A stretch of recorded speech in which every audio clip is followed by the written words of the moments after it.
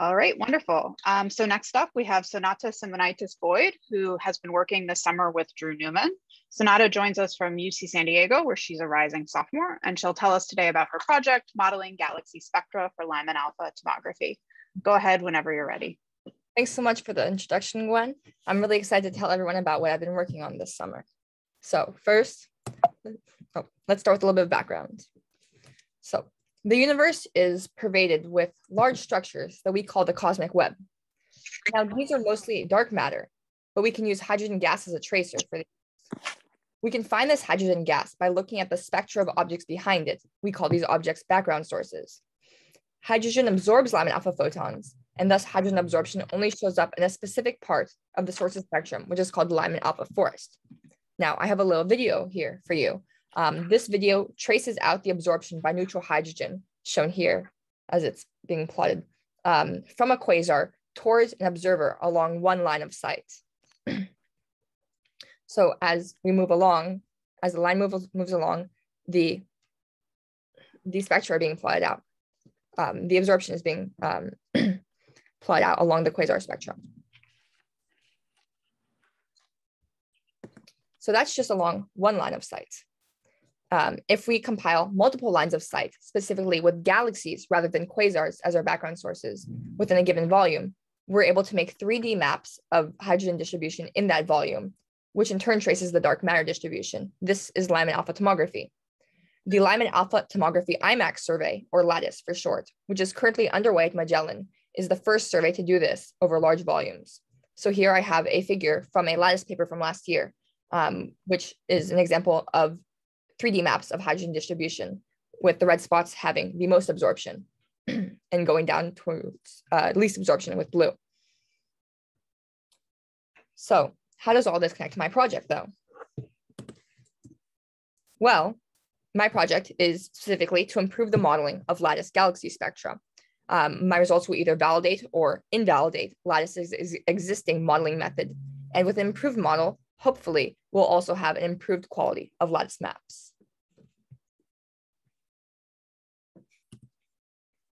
So before I get into it too much, I want to start by breaking down some key parts of a galaxy spectrum and also introducing some terminology that I'll be using throughout the rest of my presentation. So what I have here is just an average spectrum of the LATIS data. But here's some important parts. So here in the blue, we have the Lyman alpha forest. In brown, we have the Lyman alpha emission line. And in red, we have the spectrum redward of the emission line. the spectrum redward is purely the galaxy's intrinsic spectrum. But the Lyman alpha forest is a mixture of the intrinsic spectrum and hydrogen spectrum. So if we can make a really good model of the intrinsic spectrum, we can divide that out of the observed spectrum and isolate that hydrogen spectrum, which is so important for that Lyman alpha tomography. But how do we know that there's actually a reliable model that we can make? well, as it turns out, a lot of these spectral lines vary together, specifically metal absorption lines. The lines in the magenta spectrum are pretty shallow, but as we go down the spectrum from magenta all the way down to the dark blue, the absorption lines get deeper and they get deeper all throughout each spectrum. What this tells us is that we can use information in one part of the spectrum to predict what information in to predict what parts, what other parts of the spectrum will look like. For example, we can use the spectrum redward of Lyman alpha to predict the forest. So now that we've gotten that out of the way, onto the project itself. So what I have, what we did to start is we took our 2,627 LATIS galaxy spectra and we grouped them in tens according to their similarity as judged by chi-squared metric. This leaves us with 262 stacks or average spectra. What I have here plotted is six random stacks from our 262. Um, we just wanted to get like a qualitative, do a qualitative analysis just to get an idea of um, how much work we have cut out for us.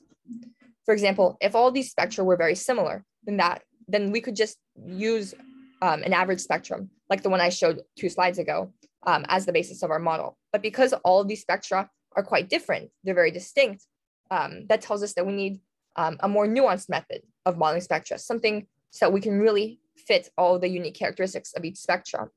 Um, and the method that we chose was principal component analysis. Now, principal component, analysis is a type of dimensionality reduction. In short, we're going from a higher dimension to a lower dimension, or expressing the data more simply. As the figure shows, um, the originally the data set originally starts in a three-dimensional space, but then it's reduced to a two-dimensional space, where rather than describing each data point as um, as um, three in three-dimensional space, you describe it as a combination of one of the two, or, or as a combination of the two principal components, so in two-dimensional space. These components are ordered by how much variation they describe. Um, but what we really want PCA for is this last feature, um, the fact that we can model an individual element of the data set as the mean of the data plus a linear combination of components. But that begs the question, how many components do we actually want? To figure that out, we can start with another qualitative assessment. Plotted here are the first six components, which are all quite distinct. The first six components of our data set, that is. Um, the components that follow aren't, and those are mostly noise. So that kind of gives us a ceiling. We know we don't want more than six components, but do we actually want all six? Well, we want as few components as possible, so we make sure we're not modeling noise, but we also want enough components to make sure that we're modeling most of the intrinsic variation. So now we need to model, we need to narrow down the number of components we want. Unfortunately, when we test performance on the same data, we always underestimate the error. So it's useful to evaluate performance on an independent data set. And that's what cross-validation does. With cross-validation, we split up our data set into two parts and use 70% of it to train the PCA, in our case, and the remaining 30% to test it. This helps make sure that the PCA isn't learning the noise and thus prevents overfitting. So I have plotted here are three figures of the scatter of the residuals in three distinct spectral regions, the Lyman alpha forest, the Lyman alpha emission region, and the spectrum redward of Lyman alpha. To get these figures, uh, to get these plots, we modeled all 262 stacks using components and plotted the error as a function of wavelength for different numbers of components. Now, I want to bring your attention to the rightmost plot, uh, redward, redward of Lyman alpha. If we compare the blue spikes uh, for zero components to um, the mean spectrum, we notice that the strongest residual spikes are aligned with the strongest absorption spikes in the mean spectrum. What this tells us is that the mean spectrum by itself is not a good model.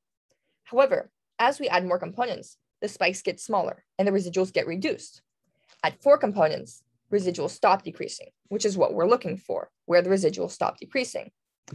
in the Lyman alpha emission region, similarly, the residual stop decreasing at four components as well.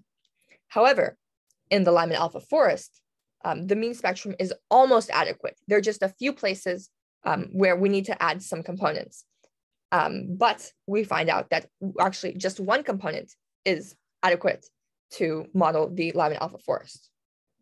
So now that we know how many components we want for to model the spectrum redward of Lyman alpha from which the forest will be predicted, we can make our model.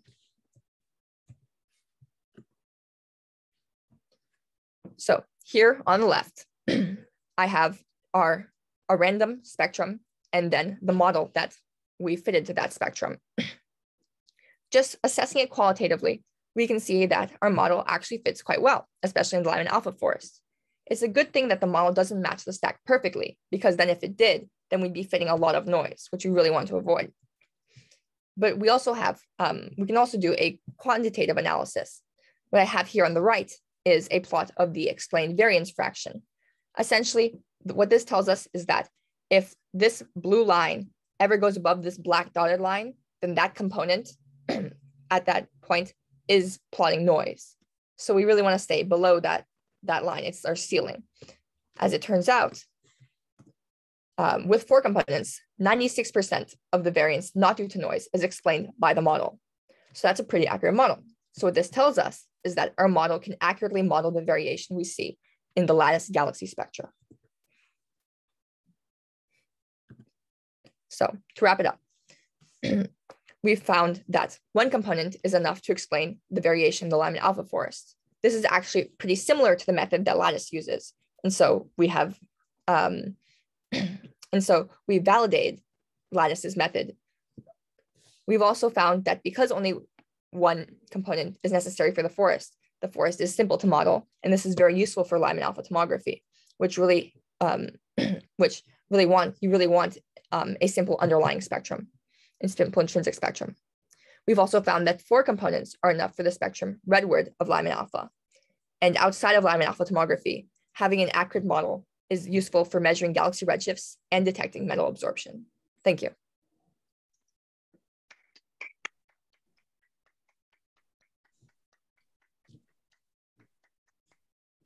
Very nice job, Sonata.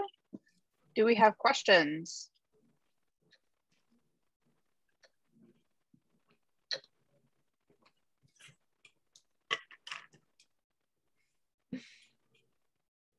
All right, so I'm curious, Sonata, um, uh, if you thought, you know, so you have these, uh, this one component in the forest that you think uh, is sufficient for, for modeling sort of that region uh, where tomography is, uh, is sort of most critical to tomography. And then you have this other region uh, to the right. I'm curious if you guys talked at all about um, sort of what those PCA components actually mean, if, if there's any um, if there's anything interesting in, in any of those uh, three components, redward of, of the forest, or, or if you were just mostly focused on, on the forest absorption and so you weren't really um, interested in the sort of physical meaning of the different PCA components. Well, the PCA components themselves kind of explain like the variance, um, like from the mean spectrum. Or another way that I like, or that was easier for me to understand was they kind of explained like, um, or they showed kind of the, some of the most prominent features of the spectra.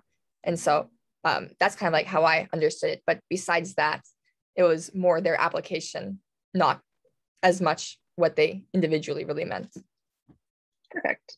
Mm-hmm. All right. Any other questions for Sonata?